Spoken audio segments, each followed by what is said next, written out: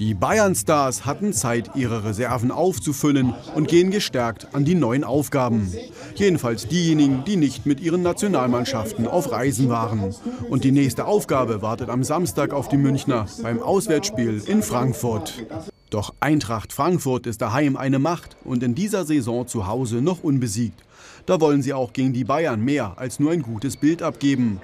Wäre auch ein Geschenk für Frankfurts Trainer Nico Kovac zu dessen 44. Gut, ich weiß auch gar nicht, ob die Jungs morgen wissen, ob ich Geburtstag habe. Das ist das eine, aber zum anderen, das ist auch völlig unwichtig, dass ich morgen Geburtstag habe. Morgen ist das Spiel wichtig. Wir müssen zusehen, dass wir morgen ein gutes Spiel abliefern. Wir wollen dort morgen auch punkten. Ja, das ist ganz klar. Wir spielen zu Hause. Wir haben jetzt schon nach drei Heimspielen sieben Punkte zu Hause gegen sehr gute Gegner geholt. Bayern ist morgen natürlich die Krönung.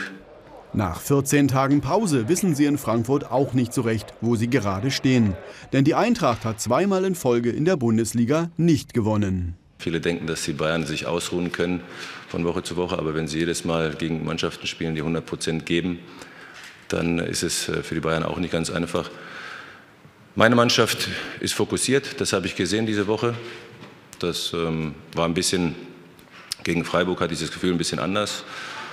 Aber jetzt wissen wir, dass wir zu Hause spielen. Wir spielen vor unserem Publikum und wir möchten unserem Publikum das bieten, was wir auch in den letzten Spielen geboten haben, nämlich schöne Spiele und dann auch erfolgreiche Spiele. Vor der Länderspielpause geschah Ungewöhnliches beim FC Bayern.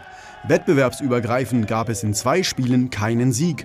Und auch beim Gaudi-Kick gegen eine Fanauswahl ist zu erkennen, den Bayern ist irgendwie die spielerische Leichtigkeit abhanden gekommen. Das Auswärtsspiel in Frankfurt ist der Auftakt für eine Zeit mit sieben Spielen in 20 Tagen in drei Wettbewerben.